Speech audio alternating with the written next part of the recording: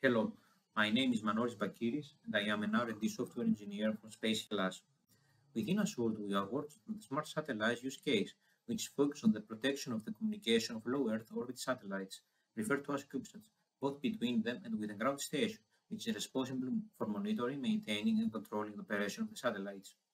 Given the communication between the CubeSat and the ground station, Assured aims to confirm the integrity of all the modules collaborating in order to execute mission-critical functions, to enhance confidentiality and integrity, and to increase the mm. resilience of the OS and software components against malicious activity.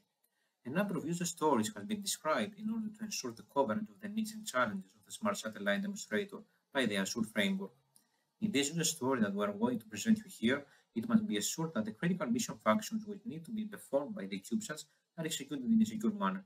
To this end, we have to make sure that when the ground station needs to deploy and update the critical mission function, the update was performed correctly and that the CubeSat is in a correct operational state, both before and after the update.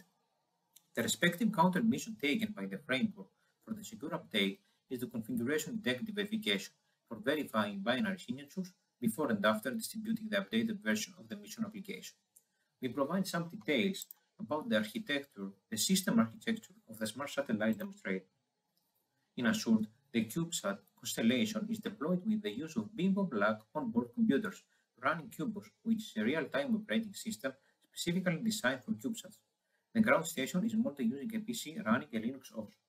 Here we show the overall flow of the configuration integrity verification process. This is the software update flow.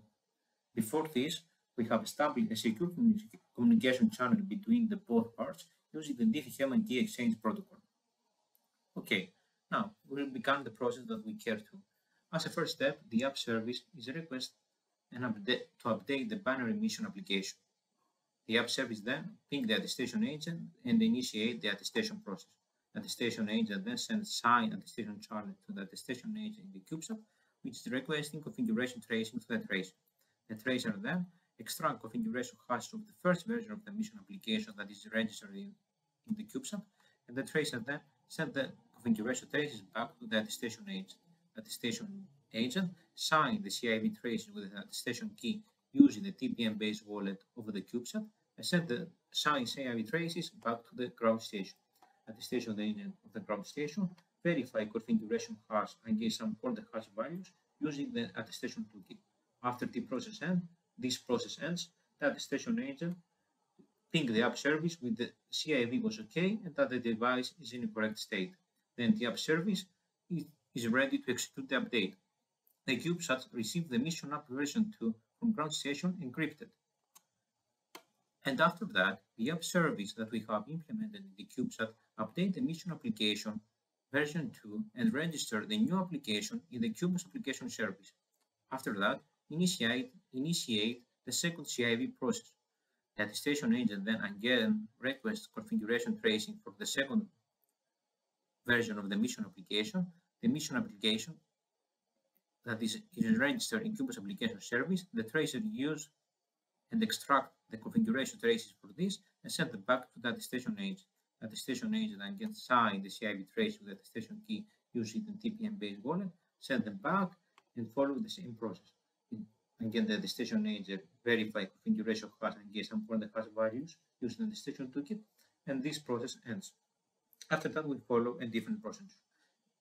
As 21A that the station agent uses use the, the attribute-based encryption with a special component that we have implemented in TPM-based wallet to encrypt raw configuration hashes without a key. After that, the station agent create and send station report with both saved results to gRPC client. As a, let, as a last step, the station agent store encrypted raw configuration hashes to Elastic database and gRPC client record the attestation report on the ledger of the Assured blockchain. That was the overflow of the second user story about the software update scenario, and we focus on the configuration integrity verification process flow. Now we continue with showcase our user stories using our video have recording for this uh, special case.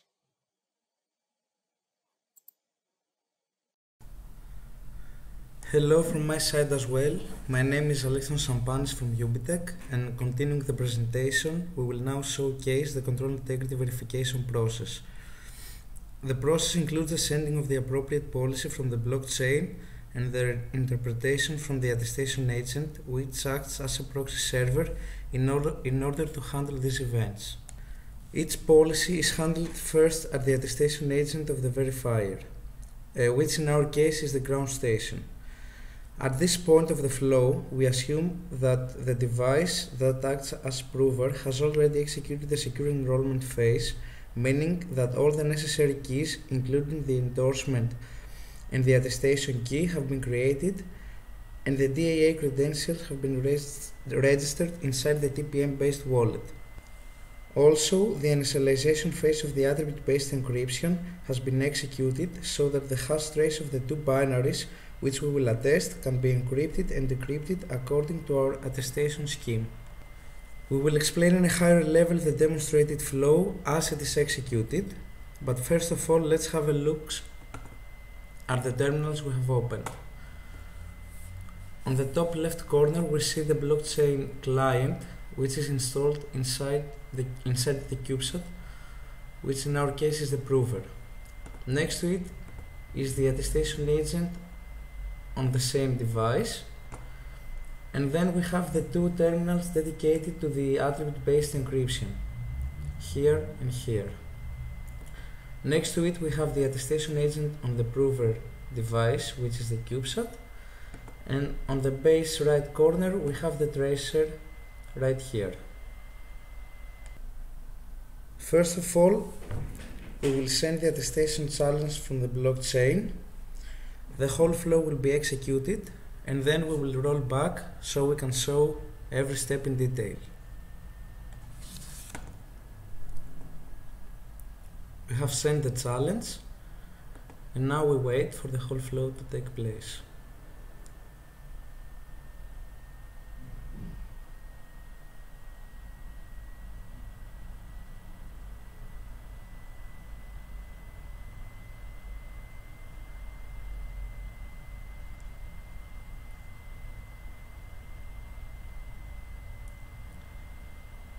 The process has now finished and we will roll back on the mid step so we can uh, explain each step uh, separately.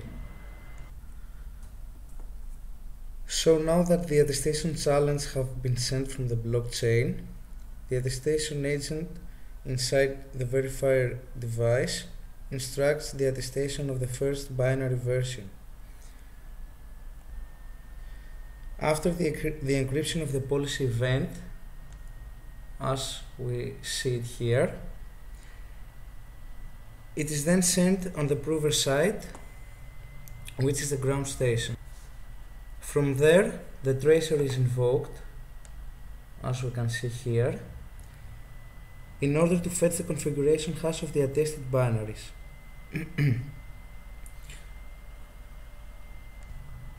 On the tracer's terminal we can see the invocation regarding the miss app 0 which is the non-updated version.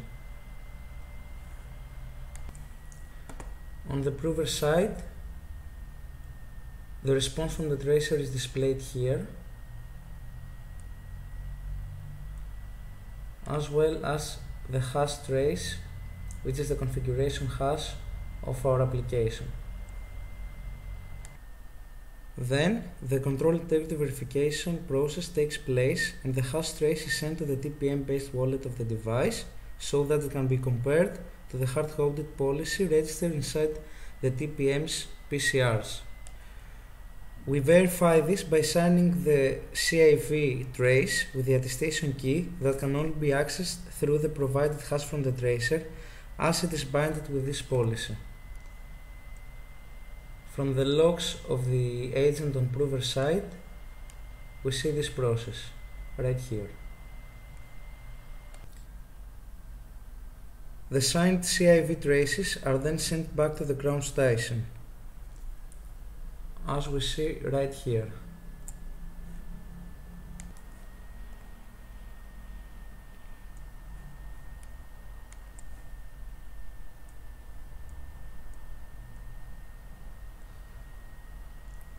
Then the attribute-based encryption of the hash trace takes place and the data are encrypted successfully as we can see on the terminal of the attribute-based encryption device.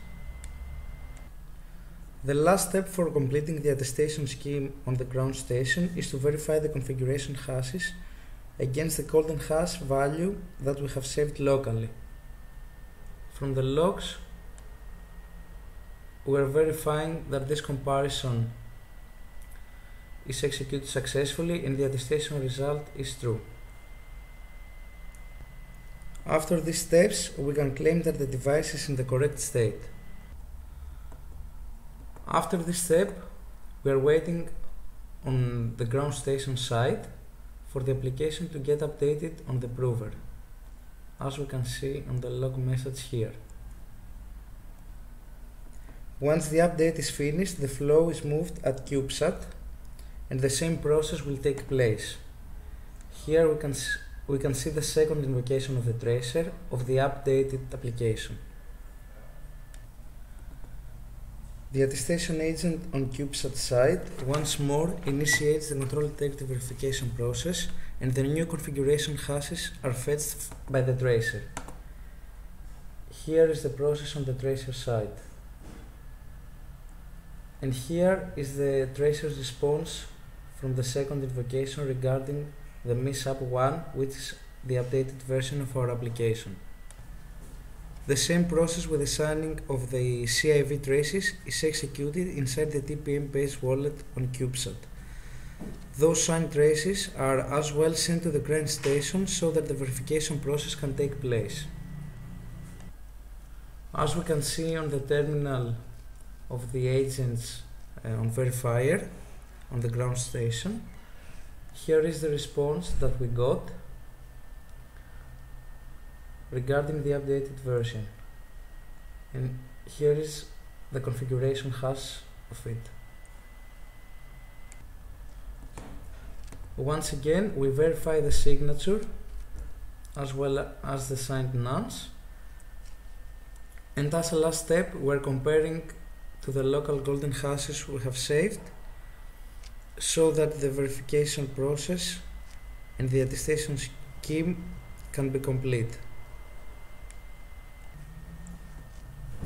Before that, we have already encrypted the raw configuration hash with the attribute-based encryption key so that we can send those hashes to the Assured blockchain. For this to happen, and so we can interact with the blockchain, we should first create the attestation report, which is shown here, and include all the required fields that we want to pass to the blockchain, including the control integrity verification results and the encrypted raw configuration hashes. The encrypted configuration hash can be seen here.